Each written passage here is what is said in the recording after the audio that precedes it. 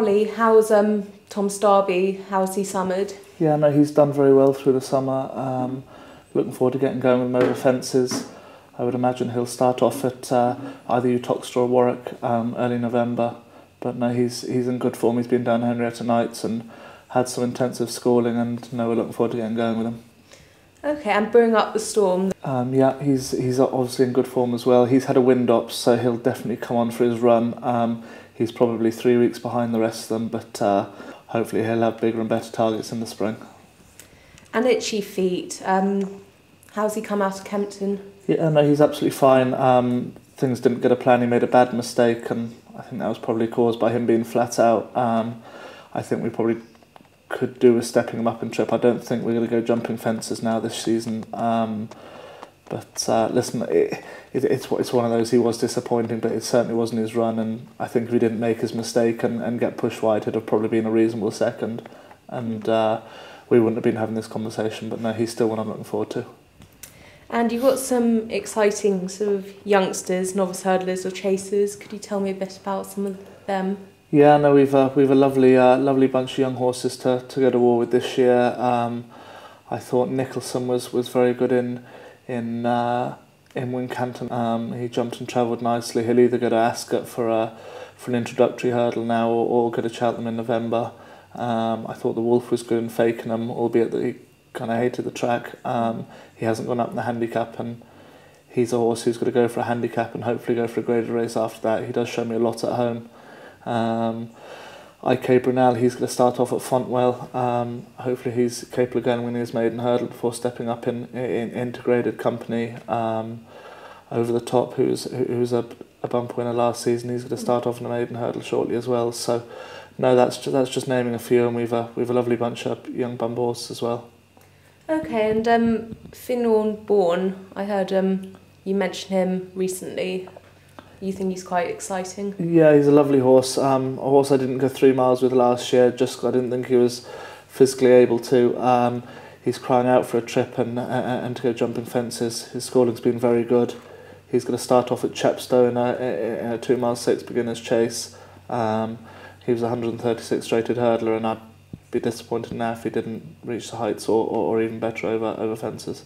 And Garrettstown, how's he? Yeah, he's good. Um, again did well for a break. He's a horse who's um, been progressive. Um, he'll go jumping fence in time. I just want to get the gassiness out of him over hurdles by giving me his first run over hurdles. But he's a, he's another horse I'm looking forward to and, and could win a nice handicap along the way. And you've got the likes of Monport, Perfect Man, and Smackwater Jack. How are they? Yeah, they're all good. Um, Perfect Man, I thought he, he could win a nice handicap over over three miles if he gets his underfoot conditions kind of the softer the better. He never really got it last year. Smackwater Jack, uh, he's in good form, and I, I, I think he's able to win a, a nice handicap off his mark as well. Um, so no, it's um, yeah, no, all, all exciting. And you've got some flat recruits like Endlessly came from Martyn Meade, and you've got um, astrologist. I, I read that he's a half.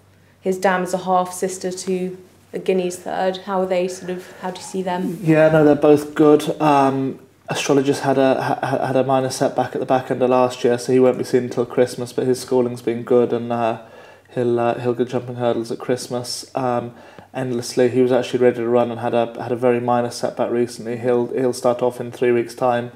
He's a two-time winner on the flat for me as well, and look very progressive. And he's a he's a fine big horse, and he's a horse I'm looking forward to.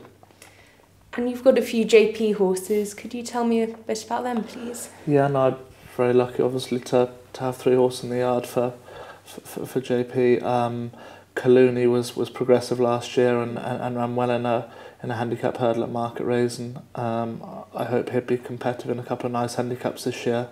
He's uh, he's since undergone a, a wind operation. Uh, Notre Pari was running a nice race in Fakenham before making a, a, a terrible mistake, three out. Um, we'll go back to a galloping track with him, and I'm sure he's capable of going winning his maiden hurdle. He's a horse to to look forward to. And Eagle Hill's been a bit disappointing to date. Um, he's going to have to improve considerably on what he's shown, but he is a point-to-point winner, and hopefully he'll improve with age.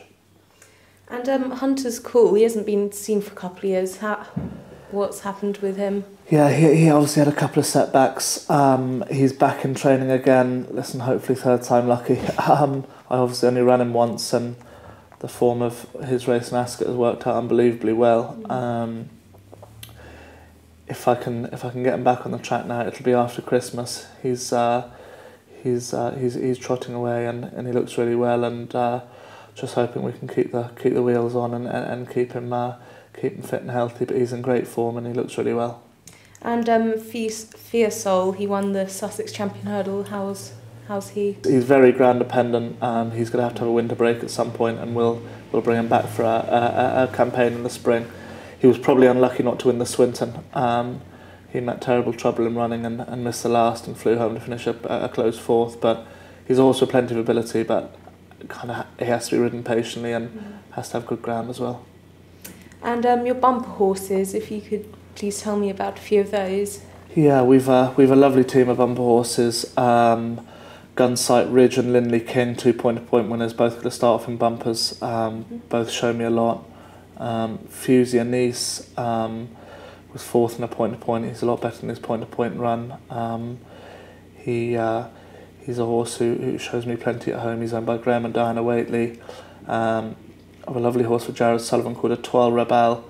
He's a he's a walk in the park. He's out the same family as Tour, um, and I've I, I've so many unraced bump horses. We've about 25 unraced bump horses for the season. Um, just picking out another, I've Grandad's Cottage that we bought from the entry sale. It's my first horse for, for John Hales. He's a he's a lovely son of Shantou. Um, and uh, yeah, he's another one I'm looking forward to. But it's going to be tricky splitting all these bumper horses up. We've uh, we've so many of them, but it's a nice problem to have.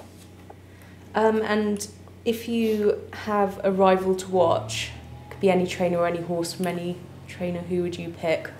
Cool, very good question. It's a hard one. Um, yeah, I love uh, love Champ. Um, also trained by Nicky Henderson. I I think he got better and better last year. Mm. Um, I thought he was very good in entry, and uh, yeah, he's certainly one I wouldn't mind avoiding. And um, if you got a race in focus this year, what one would you have in mind? I suppose I've got a couple of nice novice chasers, so just doing the Arkle the JLT would be um, yeah would be a a big buzz. And if you've got a dark horse in the yard, who would you who would it be? Christ, very, very, very good question. Um, questions. I'm not so sure he's a dark horse, but I think Nickolson could be very good. Yeah. And um, if you got two for the tracker, who would you, if you had to pick any? Uh, uh, Linley King, I think he could be a very nice bumper horse. I'm not sure whether we're good jumping hurdles with him yet. Um, and the Wolf, I think he could be very well handicapped.